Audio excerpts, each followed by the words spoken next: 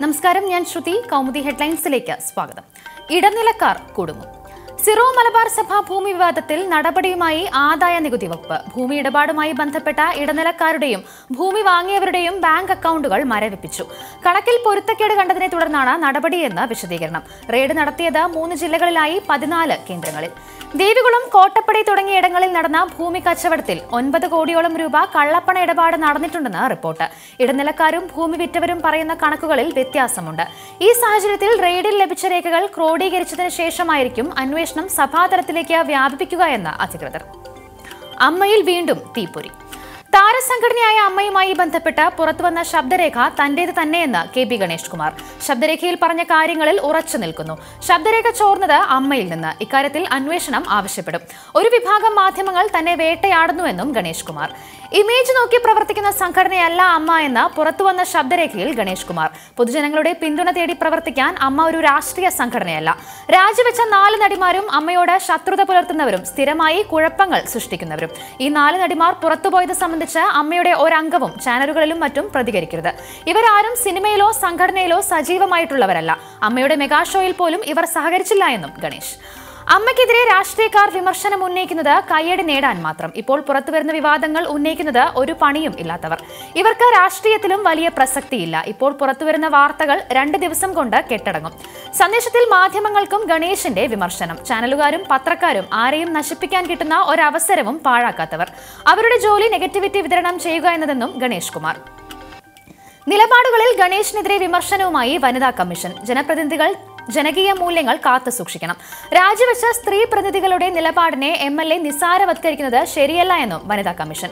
രാഷ്ട്രീയക്കാരുടെ പ്രസക്തി ജനങ്ങൾ തീരുമാനിക്കുമെന്ന് ഗണേഷ് കുമാറിന് മന്ത്രി ജെ മേഴ്സിക്കുട്ടിയമ്മയുടെ മറുപടി. വിശദീകരിച്ച് കോടിയേരി.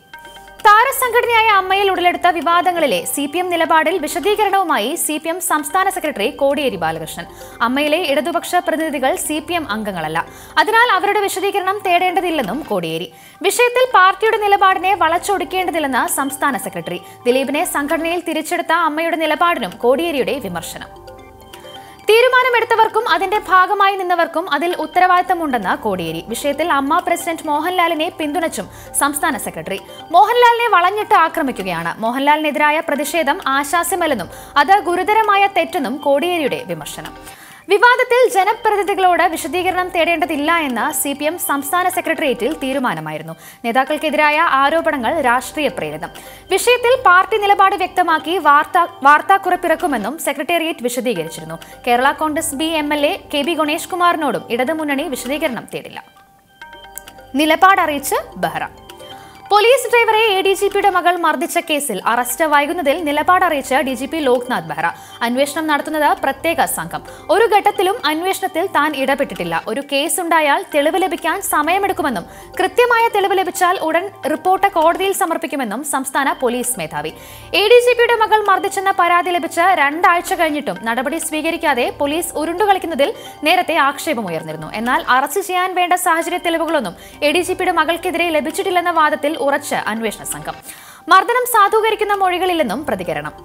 അതേസമയം പോലീസ് ഡ്രൈവർക്കെതിരായ എ ഡി ജി പിയുടെ മകളുടെ പരാതിയിൽ ഹൈക്കോടതിയിൽ ഇടക്കാല റിപ്പോർട്ട് സമർപ്പിച്ച അന്വേഷണ സംഘം. ആരോപണം സാധൂകരിക്കുന്ന തെളിവുകൾ ലഭിച്ചില്ല.